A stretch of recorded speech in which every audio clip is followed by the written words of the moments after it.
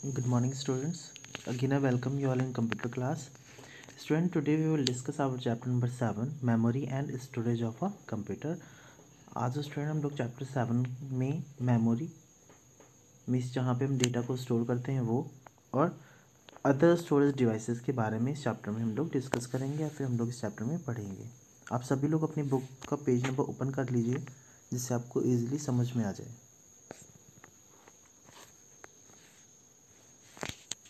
topic you will learn first is concept of storage storage का concept क्या है?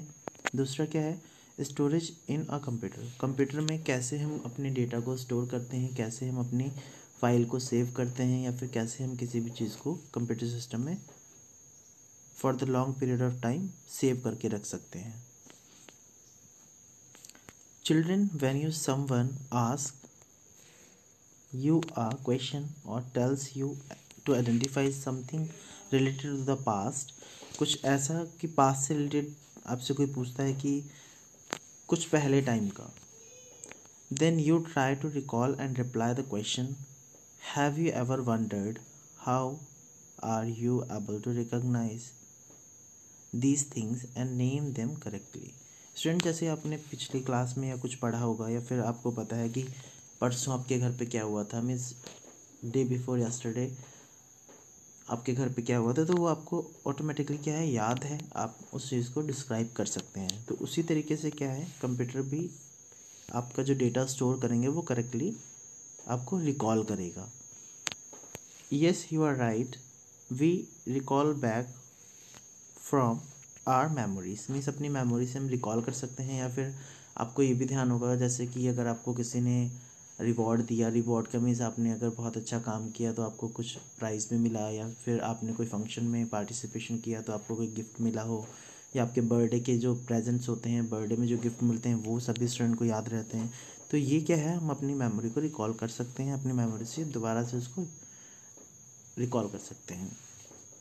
सो first is Apple है तो एप्पल की स्पेलिंग लिख दीजिएगा। A double P L E apple two multiply by five two five जा ten होता है टेन लिख देंगे। and third this is my school school की स्पेलिंग राइट करनी है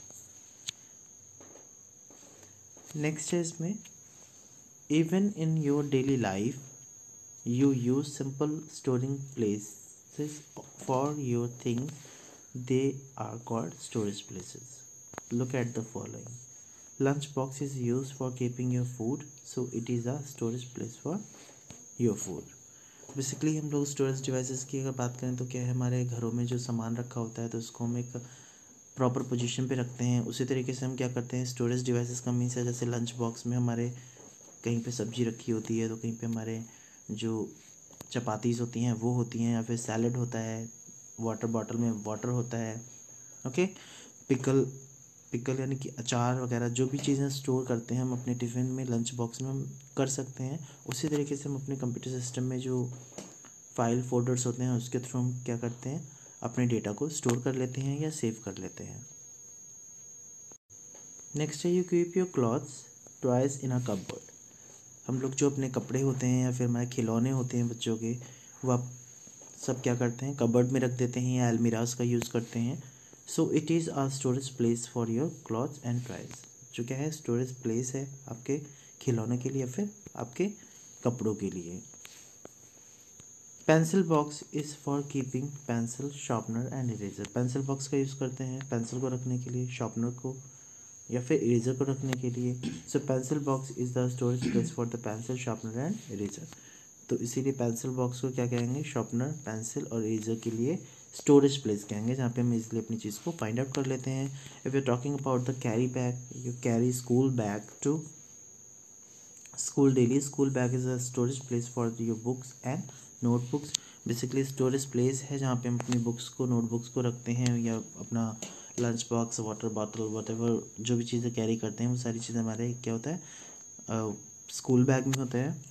So computer also has storage place it you it is store your files images and songs videos and many more इसी तरीके से कंप्यूटर क्या करता है? अपनी फ़ाइल को फ़ोटोज़ को, आपके जो फेवरेट सॉन्ग्स होते हैं उन्हें या फिर वीडियोस को क्या करता है? स्टोर करके रखता है for future use everything is stored in the memory memory में हर चीज़ स्टोर हो सकती है कंप्यूटर के.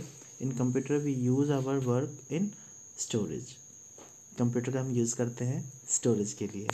Some popular storage places are first is pen drive pen drive basically जिसमें हम अपने डेटा को स्टोर कर सकते हैं। एक्सटर्नल हार्ड डिस्क है फ्लॉपी डिस्क है इंटरनल हार्ड हार्ड ड्राइव है C D D V D and memory card basically ये सारी चीज़ें हैं। सी डी आपने देखा होगा जो घरों में यूज़ करते हैं हम लोग सॉन्ग्स वगैरह सुनने के लिए फिर मेमोरी कार्ड हमारे फ़ोन्स में पड़े होते हैं।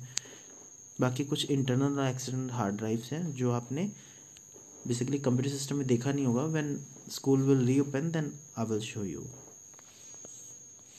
okay student ये इस क्लास में हम लोगों का सिर्फ़ इतना ही डिस्कशन रहेगा। बाकी मैं बुक एक्सरसाइज आपको व्हाट्सएप पर शेयर कर दूँगा। Okay thank you bye bye